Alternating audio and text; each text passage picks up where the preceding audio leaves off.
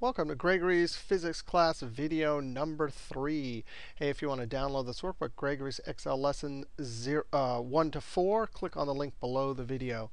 Hey, this is the third video. In this video, we want to see how to plot a XY scatter with some points and then have the charting wizard actually do the, the complicated statistics to calculate a trend line it'll actually calculate the equation in r squared also. Now, you'd learn how to do these things in a statistics class or linear algebra or some other math class like that.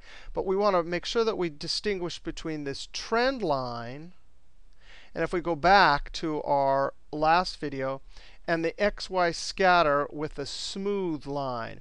This is a theoretical plot, and we xy scattered it all of our points, because they were theoretical, they fit perfect on the line. So we when, when we went up to our insert scatter, we used this one. What we're about to do in this video is not this. It is not this one. So I'm going to go over to this one. It is using data inputs from some data collected data or experimental data, right? So you use the actual data points to estimate some trend line. Again, you use, learn that in a statistic class. All right, so let's see how to do it. It's actually amazingly uh, simple to do. Just like we did in our last two videos, x always in the, is in the column to the left. y is the column to the right. And you can have as many y's as you want. You always have a name at the top that says what data sits in this column and what the unit is. So we have our x and y. I'm going to highlight, and we saw in the last two video, a great way to highlight a data set as long as there's blanks all the way around is control asterisk. Now I'm going to go up to not line. That's one number plotted against a category. It's always scatter because we have two numbers we're plotting to see the relationship. And we're going to use our markers. All right, now just as we did in our last videos, we'll do this quickly. I want to link this to the, the cell. So I'm going to click up in the formula bar, type in equal sign, click in E1, enter. Right click, uh, go to my mini toolbar. I think I'll type font size 10. Click over here on the legend, delete. Remember, in the first video, the legend was good because we had multiple plots. But if there's just one plot, we don't really need it.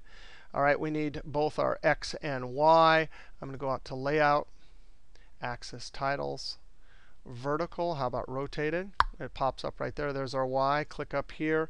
Equal sign and connect the label from the cell.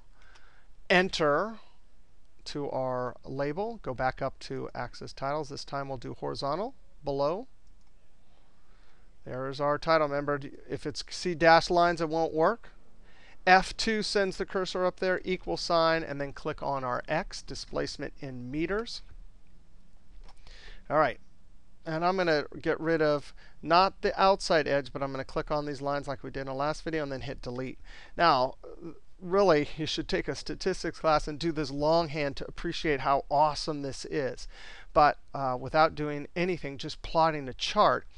Uh, now, up in layout, you can get to trend line. But sometimes it's just as easy to right click the data points. And there it is, add trend line. Now, right here, this is a linear relationship. So we're going to select linear. This is Gregory's physics class. Later, he'll talk about some, some other ones. So we're selecting linear because that's kind of what this data uh, looks like. I'm going to come down here and say display equation on chart and display r squared. r squared tells you the Uh, influence the x has on y. It is not causation. Again, you learn how to do these in a statistics class. But check this out. I just check, check, and close. And there it is. It shows us the actual plot.